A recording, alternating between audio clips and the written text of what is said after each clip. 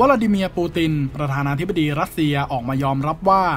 ปฏิบัติการพิเศษทางทหารในดินแดนของยูเครน ตั้งแต่ 24 กุมภาพันธ์ 2565 จนถึงวันนี้ ยาวนานกว่าที่คาดไว้ แต่ก็ยังยืนยันที่จะเดินหน้าต่อเพื่อผลประโยชน์ และการปกป้องตนเองด้วยทุกหนทางที่มี และย้ำว่าไม่มีทางเลือกอื่น หลังจากตะวันตกตอบสนองเสียงเรียกร้องด้านความมั่นคง โดยการถมน้ำลายใส่หน้า โดยสำนักข่าว AP ได้รายงานการประชุม ระหว่างผู้นำรัสเซีย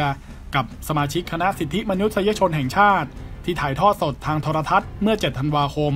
ซึ่งวลาดิมีร์พูดถึงดินแดนที่รัสเซียได้มาเป็นผลลัพธ์ที่สำคัญ และยืนยันว่าทะเลอาซอฟได้กลายมาเป็นทะเลภายในของรัสเซียแล้ว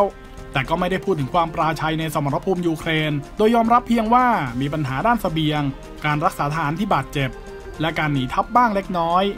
ซึ่งขณะนี้มีทหาร 150,000นาย ถูกส่งเข้าประจำการในเขตสู้รบแล้ว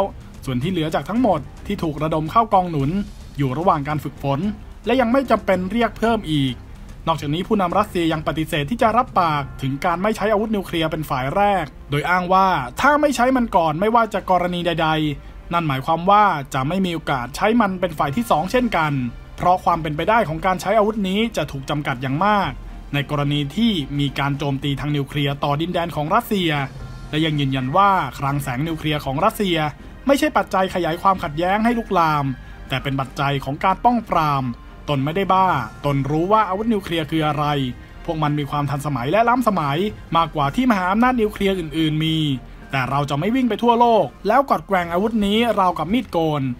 ส่วนเหตุที่ถูกโดนโจมตีในประเทศถึง 3 ครั้งนั้น ล่าสุดได้สั่งเฝ้าระวังความปลอดภัยเกือบทั่วประเทศโดยเฉพาะตามแนวชายแดน และกำลังยกระดับความเข้มแข็งณฐานที่มั่นป้องกันตนเองต่างๆด้วย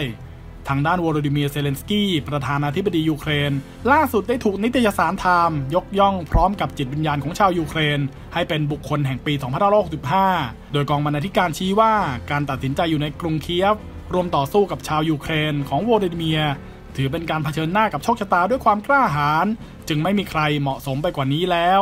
ข้ามมาดูฝั่งลิทัวเนียเพื่อนบ้านเบลารุส ล่าสุดอิงกริดาซิโมไนท์นายกรัฐมนตรีได้ออกโรงหนุนให้สหรัฐอเมริกา และชาติในยุโรป มอบระบบขีปนาวุธยุทธวิธี a t t a c หรือทัดเทียม ให้กับยูเครนอย่างรวดเร็ว โดยชี้ว่าเคียฟจำเป็นต้องมีอาวุธที่สามารถโจมตีฐานที่มั่นของรัสเซียภายในประเทศได้ดีกว่าเดิม นอกจากนี้ผู้นำลิทัวเนียยังไม่เข้าใจว่า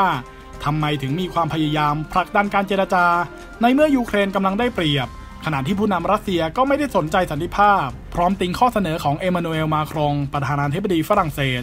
ที่ให้รับประกันความปลอดภัยแก่รัสเซียว่า เป็นสิ่งที่ไม่สมเหตุสมผลแม้แต่น้อย